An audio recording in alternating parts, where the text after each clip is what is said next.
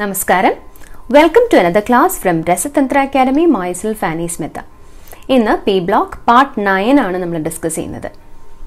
Sulphur dioxide sulphuric acid and oxo acids of sulphur P block part nine sulphur dioxide സൾഫറിന്റെ ഒരു important ആയിട്ടുള്ള compound ആണ് sulphur dioxide ആദ്യം തന്നെ പ്രിപ്പറേഷനാണ് sulphur എയറിൽ burn ചെയ്ത് കഴിഞ്ഞാൽ കൂടുതലും ഉണ്ടാവുന്നത് സൾഫർ ഡയോക്സൈഡ് ആണ് സിക്സ് ടു എയ്റ്റ് പെർസെന്റേജ് മാത്രമാണ് സൾഫർ ട്രയോക്സൈഡ് ഫോം ചെയ്യുക. Majority of sulphur will be converted to sulphur dioxide അതൊരു മെത്തേഡാണ്. ലബോറട്ടറിയിൽ നമ്മൾ സാധാരണയായിട്ട് ഉണ്ടാക്കുന്നത് ഏതെങ്കിലും metal sulphite sulphite means metal S O three two minus അതാണ് സൾഫൈറ്റ് ഗ്രൂപ്പ്. എക്സാമ്പിൾ എടുക്കുകയാണെങ്കിൽ N A two S O three sodium sulphite general ഇക്വേഷനാണ് teacher ഇതിൽ കൊടുത്തിരിക്കുന്നത്.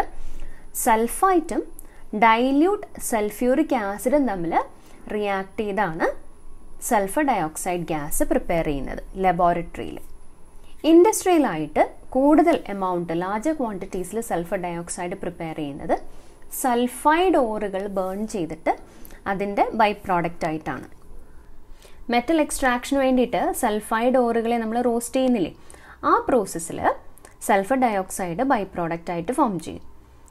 അത് ഒരു ഇൻഡസ്ട്രിയൽ മെത്തേഡാണ് നമ്മുടെ സൾഫർ ഡയോക്സൈഡ് ഗ്യാസിന്റെ പ്രിപ്പറേഷനിൽ majority of sulphur dioxide is prepared in this manner ഉണ്ടായ സൾഫർ ഡയോക്സൈഡിനെ നമ്മൾ ഡ്രൈ ചെയ്ത് ലിക്വിഫൈ ചെയ്യും. കാരണം അതിനെ റൂം ടെമ്പറേച്ചറിൽ ലിക്വിഫൈ ചെയ്യാൻ പറ്റും. ടു സിക്സ്റ്റി ത്രീ കെൽവിനിൽ ബോയിൽ ചെയ്യും. So it can be easily liquefied and stored in steel cylinders properties of sulphur dioxide colourless ആണ്.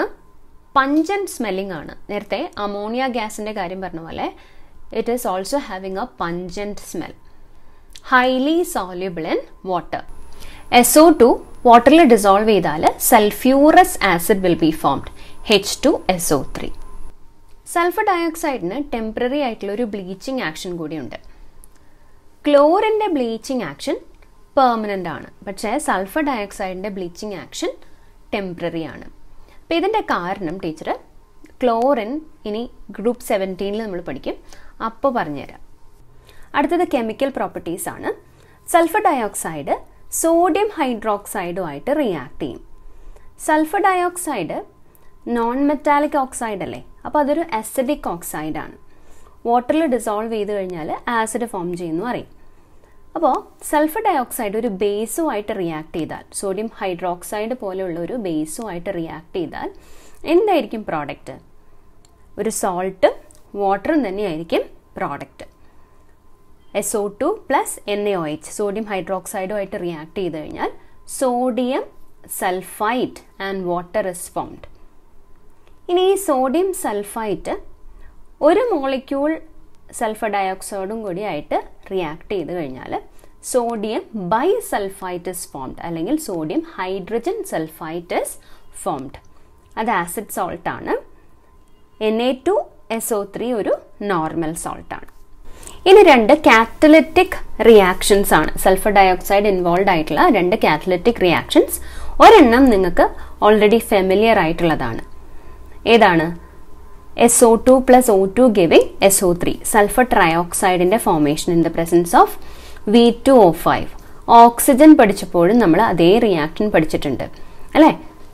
സൾഫ്യൂറിക് ആസിഡിന്റെ മാനുഫാക്ചറിലുള്ള ഒരു സ്റ്റെപ്പാണ്. ഇനി ഇതിലുള്ള ഫസ്റ്റ് റിയാക്ഷൻ നോക്കൂ. സൾഫർ ഡയോക്സൈഡും ക്ലോറിനും തമ്മിലുള്ള reaction in the presence of charcoal catalyst S O two C L two ആരാണത്? ഓർമ്മയുണ്ടോ? നമ്മൾ പി സി എൽ ഫൈവിന്റെ പ്രിപ്പറേഷനിൽ പഠിച്ചതാണ്. ഫോസ്ഫറസും സൾഫ്യൂറിൽ ക്ലോറൈഡും ആയിട്ട് റിയാക്ട് ചെയ്താണ് P C L five form ചെയ്യുന്നത്. അപ്പോൾ this thing S O two C L two is known as sulphuryl chloride sulphuryl ക്ലോറൈഡിന്റെ പ്രിപ്പറേഷനാണിത് മോയ്സ്ചറിന്റെ പ്രസൻസിൽ സൾഫർ ഡയോക്സൈഡ് റെഡ്യൂസിങ് ഏജന്റ് ആയിട്ട് ബിഹേവ് ചെയ്യും. അതായത് it aids the gain of electrons by other substances ഇവിടെ F E three plus ഉണ്ടോ? F E three plus is reduce to F E two plus F E three plus എങ്ങനെ F E two plus ആവുന്നത്? ഒരു electron gain ചെയ്തിട്ടാണ് അല്ലേ? അടുത്ത reaction test for sulphur dioxide ആണ്. അത് റെഡ്യൂസിങ് ബിഹേവിയർ തന്നെയാണ് അവിടെ കാണിക്കുന്നത്. പെർമാംഗനേറ്റ് നിങ്ങൾക്കറിയാം potassium permanganate pink dark pink colour അല്ലേ?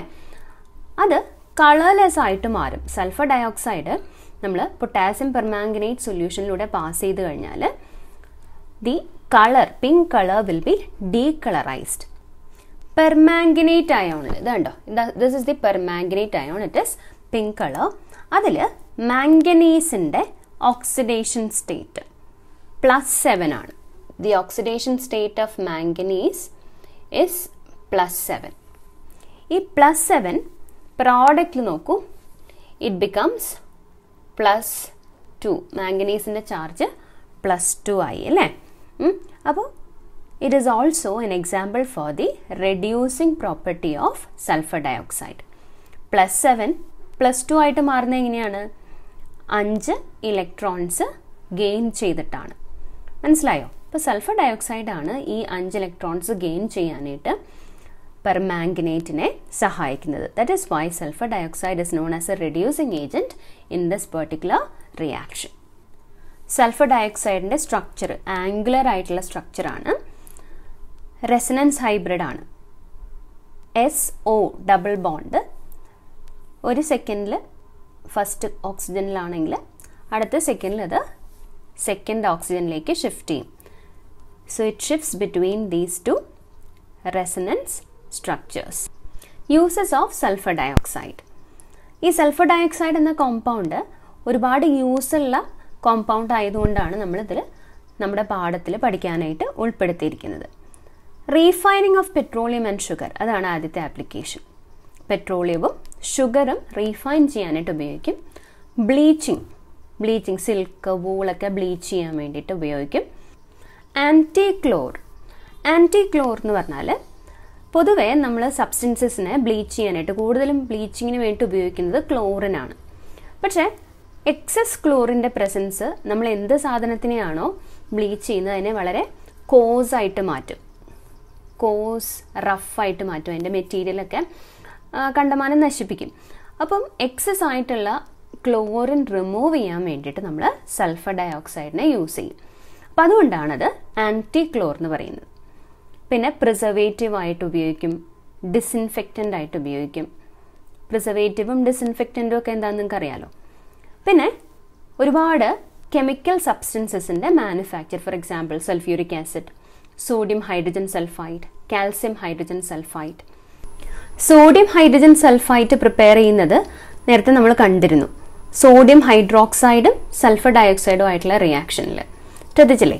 അപ്പം അതുപോലെ കാൽഷ്യം ഹൈഡ്രജൻ സൾഫൈറ്റും പ്രിപ്പയർ ചെയ്യാൻ സാധിക്കും. കാൽഷ്യം ഹൈഡ്രോക്സൈഡും ആയിട്ടുള്ള റിയാക്ഷനിൽ പിന്നെ ലിക്വിഡ് സൾഫർ ഡയോക്സൈഡ് ടീച്ചർ നേരത്തെ പറഞ്ഞായിരുന്നു ലിക്വിഡ് സൾഫർ ഡയോക്സൈഡ് ഈസി ആയിട്ട് നമുക്ക് നിർമ്മിക്കാൻ സാധിക്കും. കാരണം റൂം ടെമ്പറേച്ചറിൽ തന്നെ സൾഫർ ഡയോക്സൈഡ് ലിക്വിഫൈ ചെയ്യും. അപ്പോൾ ഇതിനെ കുറേ ഓർഗാനിക്കും ഇനോർഗാനിക്കും ആയിട്ടുള്ള സബ്സ്റ്റൻസസിനെ ഡിസോൾവ് ചെയ്യാനായിട്ട് സോൾവെന്റ് ആയിട്ട് യൂസ് ചെയ്യാനായിട്ട് സാധിക്കും. അപ്പോൾ ഇത്രയൊക്കെയാണ് സൾഫർ ഡയോക്സൈഡിന്റെ യൂസസ് അടുത്തത് സൾഫ്യൂറിക് ആസിഡ് ആണ്. കിങ് ഓഫ് കെമിക്കൽസ് എന്നാണ് സൾഫ്യൂറിക് ആസിഡിനെ പറയുന്നത്. എന്തുകൊണ്ടാന്ന് വെച്ച് കഴിഞ്ഞാൽ ഏറ്റവും കൂടുതൽ ഇൻഡസ്ട്രിയൽ ആപ്ലിക്കേഷനിലുള്ള ഒരു കെമിക്കലാണ് സൾഫ്യൂറിക് ആസിഡ് ഒരു ഇക്കോണമിയുടെ വളർച്ച തന്നെ നമ്മൾ പറയുന്നത് എത്രമാത്രം സൾഫ്യൂറിക് ആസിഡ് ആ ഇക്കോണമി കൺസ്യൂം ചെയ്യുന്നു എന്നതിന്റെ അടിസ്ഥാനത്തിലാണ്. അത്രയ്ക്ക് ഇമ്പോർട്ടന്റ് ആണ് സൾഫ്യൂറിക് ആസിഡ് സൾഫ്യൂറിക് ആസിഡിന്റെ ഇമ്പോർട്ടൻസ് പോലെ തന്നെ അത് നല്ല അപകടമുള്ള വസ്തുവും കൂടിയാണ്. അപ്പോൾ ലാബിൽ നിങ്ങൾ പ്രാക്ടിക്കലി ചെയ്യാൻ പോകുമ്പോൾ വളരെയധികം ശ്രദ്ധിക്കണം. Concentrated sulphuric acid highly corrosive ആണ്. നല്ല അപകടം ഉണ്ടാവും. നമ്മളത് ശ്രദ്ധിച്ച് കൈകാര്യം ചെയ്തില്ലെങ്കിൽ നല്ലോണം പൊള്ളും കൈ. ഓക്കെ അപ്പോൾ ശ്രദ്ധിക്കുക. സൾഫ്യൂറിക് ആസിഡിന്റെ ഇൻഡസ്ട്രിയൽ പ്രിപ്പറേഷനിലേക്ക് തന്നെ നമ്മൾ ആദ്യം പോവുകയാണ് it is known as contact process ഏറ്റവും കൂടുതൽ സൾഫ്യൂറിക് ആസിഡ് ഇൻഡസ്ട്രിയിൽ പ്രൊഡ്യൂസ് ചെയ്യുന്നത് ഈ മെത്തേഡ് വഴിയാണ്. മൂന്ന് സ്റ്റെപ്സ് ആണ് ഇൻവോൾവ് ആയിട്ടുള്ളത്. അതിൽ ഫസ്റ്റ് സ്റ്റെപ്പ് എന്ന് പറയുന്നത് producing sulphur dioxide sulphur dioxide gas produce ചെയ്യുന്നതാണ് ഫസ്റ്റ് സ്റ്റെപ്പ് അതൊന്നെങ്കിൽ സൾഫറും ഓക്സിജനും തമ്മിലുള്ള ബേണിങ്ങിൽ അല്ലെങ്കിൽ സൾഫൈഡ് ഓറുകൾ ബേൺ ചെയ്യുമ്പോൾ അങ്ങനെ രണ്ട് രീതിയിൽ സൾഫർ ഡയോക്സൈഡ് പ്രിപ്പയർ ചെയ്യാം. നിങ്ങൾക്കറിയാവുന്നതാണ്. ഇനി രണ്ടാമത്തെ സ്റ്റെപ്പ് എന്ന് പറയുന്നത് സൾഫർ ഡയോക്സൈഡിന്റെ ഓക്സിഡേഷൻ ആണ് സൾഫർ ട്രയോക്സൈഡ് ആക്കി മാറ്റുന്ന പ്രോസസ്സ് നമ്മളിപ്പോൾ തന്നെ കുറച്ചു മുമ്പ് പറഞ്ഞു നിർത്തിയതേ ഉള്ളൂ. Catalytic reaction of sulphur dioxide SO2 plus O2 in presence of V2O5. V2O5 is vanadium pentoxide. ഈ പ്രോസസ്സിലെ ഏറ്റവും ഇമ്പോർട്ടന്റ് ആയിട്ടുള്ള സ്റ്റെപ്പാണ് അതുകൊണ്ട് തന്നെ എന്റെ delta H enthalpy of the reaction തന്നിട്ടുണ്ട്. Negative one ninety six point six kilo joules per mole ഇനി തേർഡ് ആൻഡ് ലാസ്റ്റ് സ്റ്റെപ്പ് എന്ന് പറയുന്നത് സൾഫർ ട്രയോക്സൈഡിനെ സൾഫ്യൂറിക് ആസിഡിലേക്ക് തന്നെ അബ്സോർബ് ചെയ്യും. സൾഫർ ട്രയോക്സൈഡ് സൾഫ്യൂറിക് ആസിഡിലേക്ക് അബ്സോർബ് ചെയ്ത് കഴിഞ്ഞാൽ ഫോം ചെയ്യുന്ന product ഒലിയമാണ്. H two S two O seven ആണ് ഫോർമുല ഒലിയം വാട്ടറുമായിട്ട് മിക്സ് ചെയ്താണ് നമ്മൾ ആവശ്യാനുസൃതം നമുക്ക് ആവശ്യമുള്ള കോൺസെൻട്രേഷനിലുള്ള സൾഫ്യൂറിക് ആസിഡ് പ്രിപ്പയർ ചെയ്യുന്നത്. ഈ കോൺടാക്ട് പ്രോസസ്സ് വഴി പ്രിപ്പയർ ചെയ്യുന്ന sulphuric acid ninety six to ninety eight percentage pure ആയിരിക്കും കോൺടാക്ട് പ്രോസസ്സിന്റെ ഒരു സ്കിമാറ്റിക് ഡയഗ്രമാണ് നിങ്ങൾ കാണുന്നത്. ഉണ്ടോ? സൾഫർ ഇവിടെ ബേൺ ചെയ്യുന്നു. വാട്ടർ സ്പ്രേ ചെയ്ത് വാഷ് ചെയ്യുന്നു. ഡസ്റ്റ് റിമൂവ് ചെയ്യാൻ വേണ്ടിയിട്ട്. പിന്നെ സൾഫർ ഡയോക്സൈഡ് ഡ്രൈ ചെയ്യാൻ വേണ്ടി ഇവിടെ കോൺസെൻട്രേറ്റഡ് സൾഫ്യൂറിക് ആസിഡ് ഇവിടെ സ്പ്രേ ചെയ്യുന്നു. സൾഫർ ഡയോക്സൈഡും ഓക്സിജനുമായിട്ട് മിക്സ് ചെയ്ത് ഇത് കണ്ടോ ഇവിടെ കാറ്റലറ്റിക് കൺവേർട്ടർ ആണ്. അവിടെയാണ് സൾഫർ ട്രയോക്സൈഡ് ഫോർമേഷൻ നടക്കുന്നത്. Sulphur trioxide is then absorbed by concentrated sulphuric acid here absorb ചെയ്ത് കഴിയുമ്പോൾ എൻഡ് പ്രോഡക്റ്റ് കിട്ടുന്നത് oleum H two S two O seven properties of sulphuric acid colourless ആയിട്ടുള്ള ഡെൻസ് ഓയിലി ലിക്വിഡ് ആണ്. Highly soluble in water വാട്ടറിൽ dissolve ചെയ്യുമ്പോൾ large amount of heat is released അതുകൊണ്ട് തന്നെ അത് വളരെ എക്സ്പ്ലോസീവ് ആയിട്ടുള്ള റിയാക്ഷനാണ് സൾഫ്യൂറിക് ആസിഡിന്റെ ഡിഫറെന്റ് കോൺസെൻട്രേഷൻസ് പ്രിപ്പയർ ചെയ്യുമ്പോൾ വാട്ടറുമായിട്ട് മിക്സ് ചെയ്യണമല്ലോ. അപ്പോൾ അങ്ങനെ മിക്സ് ചെയ്യുമ്പോൾ ഒരു കാരണവശാലും നമ്മൾ ആസിഡിലേക്ക് വെള്ളം ഒഴിക്കരുത്. വെള്ളത്തിലേക്ക് ആസിഡ് ഒഴിക്കാൻ പാടുള്ളൂ. ആസിഡിലേക്ക് ഒഴിച്ചു കഴിഞ്ഞാൽ ഹീറ്റ് പ്രൊഡ്യൂസ് ചെയ്യുന്നു പറഞ്ഞല്ലോ. Large amount of heat is released അത് മുഖത്തേക്ക് നമ്മുടെ മുഖത്തേക്ക് ഈ ആസിഡ് തെറിക്കാനായിട്ട് ഇടവരുത്തും. മനസ്സിലായോ? അപ്പോൾ അത് അവോയ്ഡ് ചെയ്യണം. നമ്മൾ വെള്ളത്തിലേക്ക് ആസിഡ് ഒഴിക്കണം. അത് കോൺസ്റ്റന്റ് ആയിട്ട് സ്റ്റേർ ചെയ്യണം. സ്റ്റേറർ ഉപയോഗിച്ച് ഇളക്കണം. കെമിക്കൽ പ്രോപ്പർട്ടീസ് പല ഫാക്ടേഴ്സിനെ ഡിപ്പെൻഡ് ചെയ്യുന്നു. ആദ്യത്തേത് ലോ വോളറ്റിലിറ്റി എന്താണ് ലോ വോളറ്റിലിറ്റി എന്ന് പറഞ്ഞാൽ വോളറ്റൈൽ എന്ന് പറഞ്ഞാൽ എളുപ്പം വേപ്പറൈസ് ചെയ്യുന്ന എന്നാണ് അർത്ഥം. അപ്പോൾ ഇവിടെ ലോ വോളറ്റിലിറ്റി ആണ്. സൾഫ്യൂറിക് ആസിഡ് പെട്ടെന്ന് ഇവാപ്പറേറ്റ് ചെയ്യില്ല എന്നർത്ഥം. സൾഫ്യൂറിക് ആസിഡ് ലോ വോളറ്റൈൽ ആയതുകൊണ്ട് കൂടുതൽ വോളറ്റൈൽ ആയിട്ടുള്ള ഹയർ വോളറ്റിലിറ്റി ഉള്ള ആസിഡുകളെ സൾഫ്യൂറിക് ആസിഡ് ഉപയോഗിച്ച് നമുക്ക് പ്രിപ്പയർ ചെയ്യാനായിട്ട് സാധിക്കും. For example H C L H F H N O three ഇതൊക്കെ നമുക്ക് സൾഫ്യൂറിക് ആസിഡ് കൊണ്ട് പ്രിപ്പയർ ചെയ്യാം. Example M X plus H two S O four giving M two S O four plus H X ഇതിൽ M എന്ന് ഉദ്ദേശിക്കുന്നത് any metal X can be C L F N O three etcetera രണ്ടാമത്തെ chemical property എന്ന് പറയുന്നത് strong acidic നേച്ചറാണ് strong acidic nature ആയത് അതിന്റെ dissociation constant acid dissociation constant വളരെ കൂടുതലാണ്. പ്രത്യേകിച്ച് ഫസ്റ്റ് ഡിസോസിയേഷൻ കോൺസ്റ്റന്റ് രണ്ട് റീപ്ലേസബിൾ ഹൈഡ്രജൻ അയോൺസ് ഉണ്ട് അല്ലേ? Sulphuric ആസിഡിൽ H two S O four dibasic ആസിഡാണ് അപ്പോൾ ഇത് ആദ്യത്തെ സ്റ്റെപ്പിൽ വാട്ടറുമായിട്ട് ഡിസോൾവ് ചെയ്യുമ്പോൾ H S O four minus plus H three O plus hydronium ion form ചെയ്യും. ആ സ്റ്റെപ്പിൽ അതിന്റെ ആസിഡ് ഡിസോസിയേഷൻ കോൺസ്റ്റന്റ് വളരെ കൂടുതലാണ്. Greater than ten. ഇനി രണ്ടാമത്തെ സ്റ്റെപ്പിൽ H S O four minus plus H two O എന്ത് ഫോം ചെയ്യും? സൾഫേറ്റ് അയോൺസ് ഫോം ചെയ്യും with the liberation of one hydronium ion ആ second സ്റ്റെപ്പിലുള്ള acid dissociation constant K a two K a വണ്ണിനേക്കാൾ വളരെ കുറവായിരിക്കും. അതെന്തുകൊണ്ടായിരിക്കും? What will be the reason first സ്റ്റെപ്പിൽ ഒരു neutral ആസിഡിൽ നിന്നാണ് proton പോകുന്നത് അല്ലേ? അതേസമയം രണ്ടാമത്തെ സ്റ്റെപ്പിലെ ഡിസോസിയേഷൻ പ്രോട്ടോൺ പോകുന്നത് എവിടെ നിന്നാണ് ഒരു നെഗറ്റീവ്ലി ചാർജ്ഡ് ആയിട്ടുള്ള സ്പീഷീസിൽ നിന്നാണ്. അപ്പോൾ അതുകൊണ്ട് അത് കുറച്ച് ബുദ്ധിമുട്ടുള്ള കാര്യമാണ്. അപ്പോൾ അതുകൊണ്ട് ഈ dissociation constant product molar concentration of the product by molar concentration of the reactant അല്ലേ? അപ്പോൾ പ്രോഡക്റ്റ് കോൺസെൻട്രേഷൻ കൂടുതലുള്ളപ്പോഴാണ് ആസിഡ് അസോസിയേഷൻ കോൺസ്റ്റന്റെ വാല്യൂ ഹൈ ആവുന്നത്. ഇപ്പോൾ സെക്കൻഡ് കേസിൽ പ്രോഡക്റ്റ് ഫോർമേഷൻ കുറവാണ്. That is why K a two is having a less value രണ്ട് സ്റ്റെപ്പിൽ ഡിസോസിയേറ്റ് ചെയ്യുന്നുണ്ട്. സൾഫ്യൂറിക് ആസിഡ് രണ്ട് തരം സോൾട്ടുകളെ തരും. ഏതൊക്കെയാണ്? ആസിഡ് സോൾട്ടും നോർമൽ സോൾട്ടും നോർമൽ സോൾട്ട് എന്ന് പറഞ്ഞാൽ ഇപ്പോൾ sodium sulphate example acid salt എന്ന് പറഞ്ഞാൽ അതിനകത്തൊരു ഹൈഡ്രജൻ ഉണ്ടാവും. Bisulphate sodium bisulphate is an example for an acid salt third chemical property എന്ന് പറയുന്നത് അതിന്റെ എഫിനിറ്റി ഫോർ വാട്ടറുമായിട്ട് റിലേറ്റഡ് ആണ്.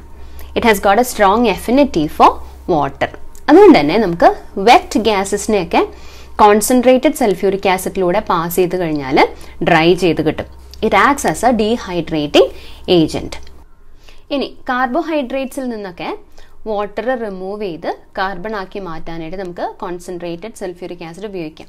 ഇവിടെ C twelve H twenty two O eleven example ആയിട്ട് തന്നിട്ടുണ്ട്. Sucrose when treated with concentrated sulphuric acid carbon and water vapour is formed ഇനി hot concentrated ആയിട്ടുള്ള സൾഫ്യൂരിക് ആസിഡ് ഒരു മോഡറേറ്റ് ആയിട്ടുള്ള ഓക്സിഡൈസിങ് ഏജന്റ് ആണ്. സ്ട്രോങ് ഓക്സിഡൈസിങ് ഏജന്റ് അല്ല പക്ഷെ ഒരു മോഡറേറ്റ് ഓക്സിഡൈസിങ് ഏജന്റ് ആണ്.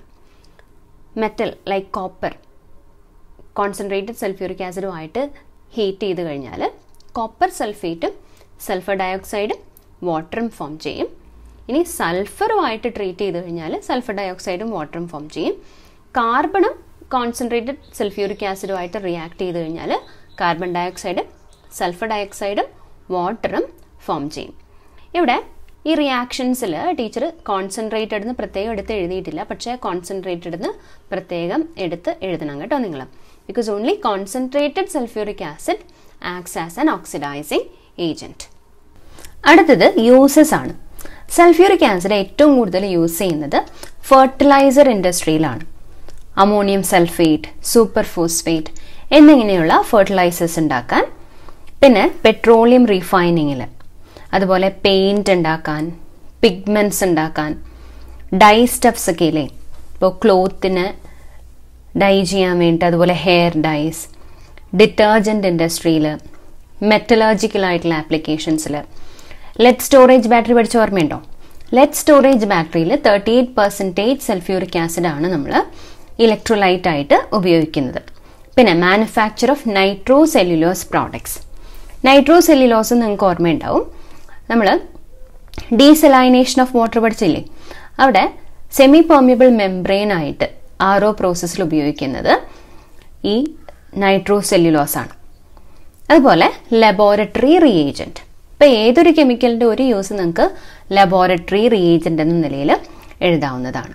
അപ്പോൾ ഇതൊക്കെയാണ് നമ്മുടെ സൾഫ്യൂറിക് ആസിഡിന്റെ യൂസസ് ഇന്നത്തെ നമ്മുടെ last topic oxo acids of sulphur നാല് സ്ട്രക്ചേഴ്സ് മാത്രം നിങ്ങൾ പഠിച്ചാൽ മതി. ഇതിൽ കുറച്ചധികം ഉണ്ട്. ഏതൊക്കെയാണ് വേണ്ടതെന്ന് പറയാം. ഇതിൽ H two S O three വേണം. H two S O four വേണം. H two S two O seven വേണം. H two S two O eight ഈ നാല് പേര് മാത്രമേ നമ്മുടെ ടെക്സ്റ്റിലുള്ളൂ. അവരെ മാത്രം നമുക്ക് പഠിച്ചാൽ മതി. പിക്ചേഴ്സ് എല്ലാവരുടെയും കിട്ടിയപ്പോൾ അത് വെച്ചു എന്ന് മാത്രം.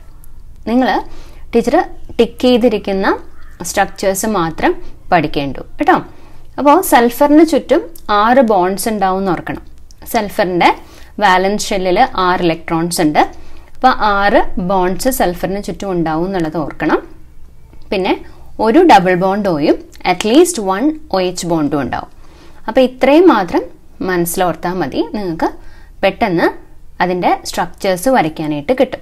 ഇപ്പോൾ sulphurous acid H two S O three sulphurous acid sulphuric acid is H two S O four പിന്നെ oleum H two S two O seven പിന്നെ peroxo disulphuric acid H two S two O eight ഒരു acid teacher വരച്ച് കാണിച്ചു തരാം. Sulphuric acid H two S O four H two S O four ഇതിൽ സൾഫറിനെ നമുക്ക് centralise ചെയ്തിട്ട് represent ചെയ്യാം. സൾഫർ മിനിമം എന്തൊക്കെ വേണം? ഒരു ഡബിൾ ബോണ്ട് ഒയും ഒരു ഒ എച്ചും വേണം. Double bond O O H ഇനി രണ്ട് ഓക്സിജൻ ബാക്കിയുണ്ട് ഒരു ഹൈഡ്രജനും ബാക്കിയുണ്ട്. എന്ത് ചെയ്യാൻ പറ്റും? ഓക്സിജന് രണ്ട് ബോണ്ടേ പാടുള്ളൂ സൾഫറിന് ആറ് ബോണ്ട് വേണം ഹൈഡ്രജന് ഒരു ബോണ്ട് അപ്പോൾ എന്തായിരിക്കും പോസിബിലിറ്റി ഒരു ഒ എച്ച് ബോണ്ട് വരച്ചു കഴിഞ്ഞാൽ ഓക്സിജന് രണ്ട് ബോണ്ടായി ഹൈഡ്രജന് ഒരു ബോണ്ടായി സൾഫറിന് ഒരു ബോണ്ടും കൂടിയായി ഇപ്പം മൊത്തം നാല് ബോണ്ടായി അപ്പോൾ ഇനി രണ്ട് ബോണ്ടും കൂടെ നമ്മുടെ സൾഫറിന് കിട്ടാനുണ്ട്. അപ്പോൾ ഒരു ഡബിൾ ബോണ്ട് ഓയും കൂടെ വരച്ചാൽ പോരെ? അപ്പോൾ one two three four five six six bonds ആയി അല്ലേ? അപ്പോൾ എല്ലാം സാറ്റിസ്ഫൈഡ് ആയി. This is the structure of sulphuric acid അപ്പോൾ ഇതുപോലെ ബാക്കിയുള്ള ഓക്സി ആസിഡ്സിന്റെ സ്ട്രക്ചേഴ്സ് നിങ്ങൾ തന്നെ വരച്ച് നോക്കുക. അപ്പോൾ ഇന്നത്തെ ക്ലാസ് ടീച്ചർ വൈൻഡപ്പ് ചെയ്യാണ്. ഇതോടെ ഗ്രൂപ്പ് സിക്സ്റ്റീൻ കഴിഞ്ഞു കേട്ടോ. ഇനി അടുത്ത ക്ലാസ്സിൽ നമുക്ക് ഗ്രൂപ്പ് സെവന്റീൻ നോക്കാം. ഗ്രൂപ്പ് സെവന്റീൻ അധികമൊന്നും ഇല്ല. ഗ്രൂപ്പ് സിക്സ്റ്റീന്റെ അത്രയും ഇല്ല. ഗ്രൂപ്പ് എയ്റ്റീൻ അതിലും കുറവേ ഉണ്ടാവുള്ളൂ. Thanks for watching have a nice day